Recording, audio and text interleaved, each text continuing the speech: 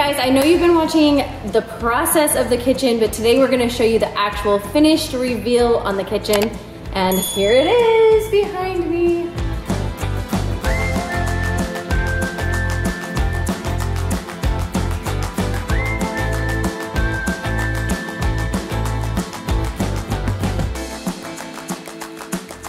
So you guys can see, you guys know that before we had a very large um, island as well. We kept that with the house update.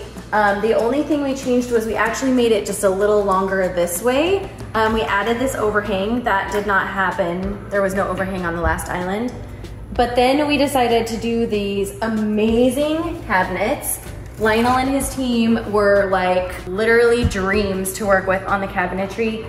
And this is such excellent workmanship that we have opted not to put stools here most of the time because we just really love showing off the, such the pretty finish. This countertop is a porcelain and everyone always asks me if it's concrete and that was the idea. We um, wanted to give the concrete look without the weight and heaviness of concrete. Also, concrete's very porous, so in my opinion, it's just not gonna wear well over time. Where porcelain is man-made and so it is super, super hardy. One of the things I asked from day one was like, do not show me marble. I don't wanna talk about marble. I don't wanna see any marble. I'm never using marble because our last counters were marble and I hated them. Hated them, hated them, hated them. They did not wear well. So I was introduced to porcelain, which if you're looking for something that looks more updated and modern, but it is hardier actually than quartz and cheaper than marble, this is your dream. So I have I picked matte finish. They do have it in a shiny too if you like shiny countertops, but I picked the matte. Um, we decided to do the waterfall edge, which I love. I feel like it just elevates the whole island and really makes it a focal point in the kitchen. And you guys remember we had a sink here. There was a big debate amongst our family members. Sean liked the sink, I hated the sink. Uh, you know, we had a, like a veggie sink, but I didn't feel like anyone ever used it except just like as a collection point. So, and I hated the way it broke up the island when we were doing parties, which we do quite often. And so we opted to just take out the sink and that also allowed us to do the waterfall edge because you didn't have to get into all the pieces and parts. So you can see the island. You guys know with the kitchen update, we tried to reuse everything we could. Um, so we kept all of the same appliances. So nothing has changed on the fridge, the oven, the microwave, or the um, warmer drawer. And so pretty much we kind of maintained this section of cabinets. When we changed the cabinetries, the, these were like smaller and like segmented. We just went bigger. Like we took, you know, two, two where there were like two cabinets here, top and bottom, we made them all one. So we just like kind of made everything bigger and less drawery. So we went with, these cabinets are called um, thin rail shaker. Think about that for a second. So normal shaker is thick like this, like kind of a two inch or one and a half inch. We went with this teeny tiny rail, which is um, more modern look, con more contemporary looking. We did black knobs, um, matte on all of the top cabinets. Well, actually we did black everywhere except the island, which you'll see in a second is actually gold. So it's kind of fun to have two tones going, both top and bottom, because you can see we did white paint, these are paint grade white on top, and then we went with stain grade on the bottom. And again, Lionel and his team with the cabinetry, the wood. I mean, he hand cut all of this so that these like beautiful striations in the wood would show through and really pop for us in the kitchen, which makes all the difference. Mostly we did pulls on all of the drawers. So you can just see, you know, there's pulls. And then we did knobs on anything that was a door. Another big request of mine was an appliance garage because I always have like a blender or air fryer sitting out and I wanted somewhere to hide them. So here they are. This is not the pretty pieces of the kitchen, but it's all nicely tucked away and hidden. Okay, so when we redid the kitchen, I did a lot of organizing, which was really nice. So you can see I have kind of mostly put stuff into clear tubs um, and labeled them all really appropriately. Things like this spice holder, you know, so that they're all pretty. I actually need to get a few more jars to do these. So Heather and her team from House Sprucing helped me design the kitchen and also helped kind of just facilitate some of the decor and came and styled some of it. So you can see just like little antique um, rollers. This was a crock I had that I love putting flowers in. This is our countertop butter. Um, I found this at an antique store, this little mushroom and felt like it feels very like cottage core, which I love. Love this little thing. People ask me about this all the time, but it just has like little sayings and we flip it kind of like every week. Um, and it just is like a good reminder, I feel like, to my kids to try to be better. Um, and also to me, because I can read some of them and do a great job too. Okay, over here, uh, before we had just like a top wooden hood, when we redid the kitchen, I really wanted a plaster hood. It was a big thing to me. Sean thought I was crazy, but I kept telling him, no, they're so beautiful. Um, and I had seen a Pinterest picture of one where they had brought it down on the sides like this. And so we decided to try it and I actually have loved it. I love that it kind of frames the stove and really gives the kitchen like a centerpiece.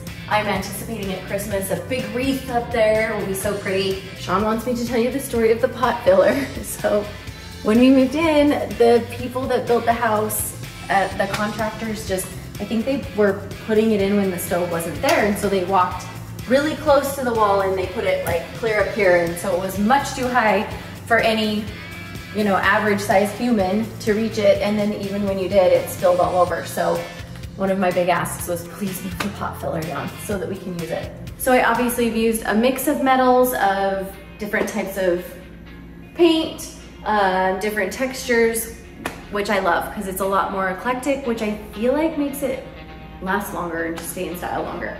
Um, over here, I mean, there's cookbooks from my awesome friends, like Cute Sarah. I have just different things, different paintings, dishes, I don't know, just like little decor pieces, bread boards. Um, we have bread bowls over here, some sourdough, sourdough thanks to Sean's mom. Please don't think I cooked this because I did not. Um, fruit bowls, you get the idea. Again, we carried the porcelain from the countertops all the way up the walls to try to make it feel uh, more like elongate the wall and also just feel a little more dramatic. Um, on the drawers, okay, so again, magician, Lionel and his team, can't say enough about them. Uh, we discussed corner door options. So, you know, I at the time, I think we had a Lazy Susan. We had the dishwasher here originally, if you guys remember, but I hated it because when it was open, you could never get to the cabinets. So we moved the dishwasher over here. We just literally flipped it, um, which gave us an extra row of drawers. Again, on the drawers, like we had, we would have had in this same space four drawers before, and we just made them much bigger and hardier drawers and, and made them like less in number. I have, you know, tried to organize them all because I love good organization. So you can see all my Ziploc containers. But the corner drawers, these are my favorite. These are, I think they're called magic corner drawers, but you can see they just literally are shaped like a corner, which I love. So they're a little odd shaped on the front, but I love that they pull out and there's just, you know, lots and lots of room. I specifically requested no cabinets on the bottom. I wanted all drawers, as many drawers as possible because I feel like they just organize better and you can store things easier. So you can see on the top, we still did cabinetry, like, or cabinets, but uh, down on the bottom, it's mostly drawers. So I got these little organizing things off of Amazon and then I labeled everything and actually, believe it or not, my kids put it away when it's all labeled like this. It's amazing. Like it all stays where it's supposed to. So that's really nice. Um, trash cans, we switched out the sink and the, I told you we switched to brass on the faucets, but the sink was originally a farm sink um, and it was silver, like a, not silver, Stainless steel. Stainless steel, thank you. And we switched to black, which is kind of fun. I had never thought about a black sink, but I really enjoy it. And pretty much that's it, y'all. Like, we added shelves, open shelves right there, so we lost a cabinet on each side. I wouldn't have done personally, I wouldn't do open cabinetry across the whole thing because I would miss my cupboards too much and I like to keep things hidden. Um, but I love that we gave a couple little moments for decor and open shelving. And I love that we put the lights above too. So I love, love, love. Those are some of my favorite adds from the redo. Oh yeah, so we also, if you remember, we had one big hanging pendant here before. It was a Sputnik pendant, yes. Yeah, Sputnik, and we switched it out, which I love the Sputnik. It still is, it looked great. I just decided I wanted to go to two, and I really love um, House Sprucing helped us pick these fixtures that have the gold on the bottom, so it really pops, or the brass on the bottom to pop some of the brass in the hardware and the faucets, which I love.